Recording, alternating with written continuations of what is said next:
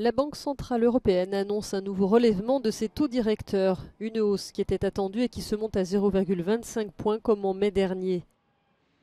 Face à une inflation qui reste élevée, la BCE n'entend pas faire de pause dans son resserrement monétaire.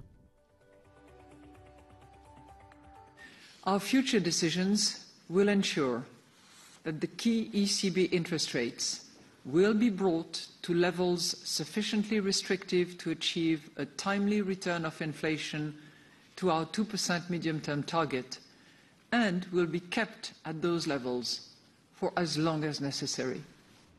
En moins d'un an, c'est la huitième augmentation de ce type en zone euro. La présidente de la BCE a également dévoilé qu'une autre hausse de taux était très probable lors de la réunion de juillet prochain.